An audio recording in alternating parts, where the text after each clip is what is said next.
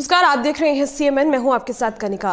उत्तर प्रदेश के जनपद शाहजहापुर में क्लॉन तहसील क्षेत्र खजूरू में मुख्य मार्ग का हाल टंकी के निर्माण कार्य से पाइपलाइन का आधा अधूरे कार्य तीन दिनों से ग्रामीणों को आने जाने में परेशानी का सामना करना पड़ रहा है।